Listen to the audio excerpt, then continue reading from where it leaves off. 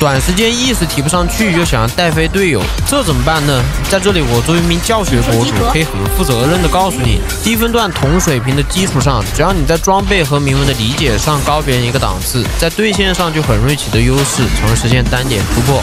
所以，我们这一期不做任何意识上教学，单单讲一下出装这个东西。赛季末最高都在两千一以下，排位在八十星以下的，我觉得这一期都可以看看。你到时候觉得有用吗？那就提升了自己嘛；觉得没有用呢，顶多就是稍微浪费一点点时间，然后划走就行了。东西都是很基础的，但还是有一点不一样。哥，你要是提前就知道了呢，那我也求你别骂我，毕竟我只是一个小博主，很多粉丝想看，我就做了这一期。我们先讲重点，在不同情况下，阿迪的出装选择是不一样的，但是我用的都是同一套。不可否认的是，常规出装上限就是最高，也是目前主流出装。其他出装肯定也有它的优点，有它独特之处。但是如果真的有那么好，那请参考法球的狄仁杰。好，我们言归正传。如果像对线戈亚、鲁班那些英雄，那我们就不假出门，然后做布甲鞋，接着做末世。如果对线像马可、狼狗，甚至说艾琳这些比较弱的英雄，那我们怎么样就直接裸末世。但是裸末世是有顺序的，一定是速击之枪加雷鸣刃，最后再补什么？补一个吸血刀，然后再去做末世。因为我看到很多很多粉丝出装他都是错的，他直接是怎么做？要么就是裸一个吸血刀，要么就是出了四级之枪之后再做吸血刀。那你这样收益是很低的。当然，还有一个是什么呢？你像影刃这些出装，其实也是有选择的，一定是优先做狂暴双刃，再做四级之枪，最后再合成影刃。像无尽也是一样，做把铁剑怎么样？做个充能全套，然后再做无尽。基本出装都是要讲究的，不能说你一顿乱点。做破晓也是同理，我们优先做穿云弓，再去憋出一个大破晓。逐日之弓也是一样的，不要再做充能全套了，很卡格子卡钱。你做一个速击之枪，这样是最好的。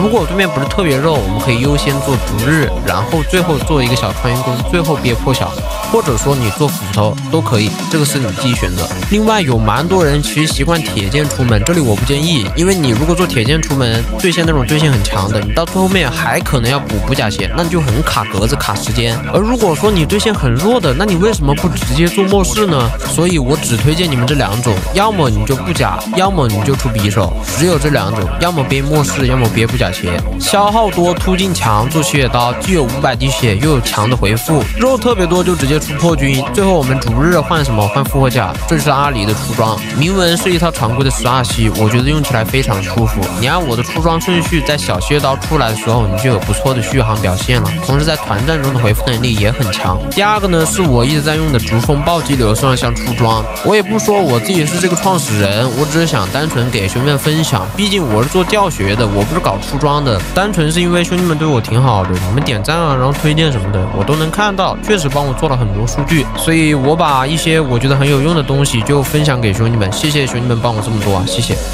这个出装好在哪里呢？好在逐风其实和双香蛮贴切的，包括它攻速所带来的手感非常非常好。我们等会和那个。呃，暗影战斧做个对比，其实你们就会发现它的利弊之处在哪里。顺序的话，按我视频上面的这么出就行。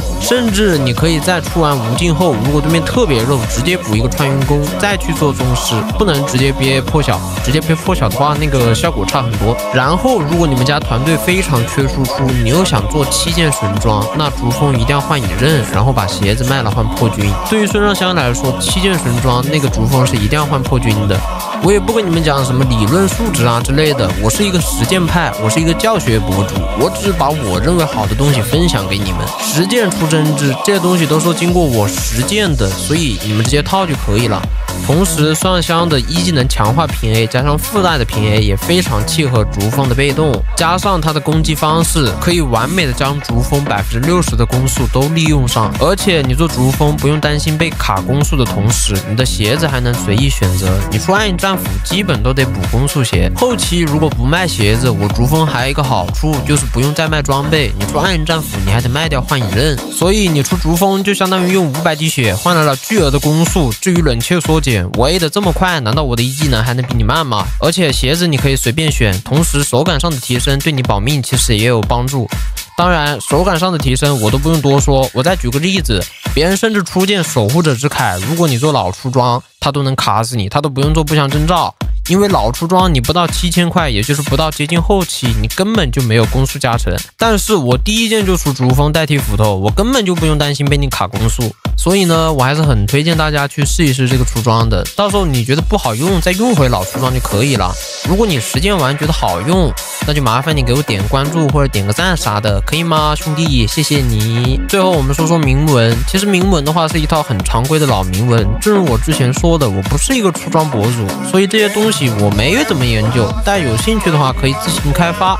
我们就无论分高还是分低，咱们一起讨论讨论，看看有没有更好的。最后谢谢大家关注我啊，因为我看到那个视频其实蛮多人帮我做数据了，我这边后台其实就能看到的。真心谢谢大家，真心的。所以我作为一个教学博主才出了这样一期视频，因为其实我不是很合适出这类的，但是呢，这个确实能帮兄弟们提升自己玩射手的胜率，所以呢，我还是出了。好，这一期到此为止，我陈奈，兄弟们下期再见。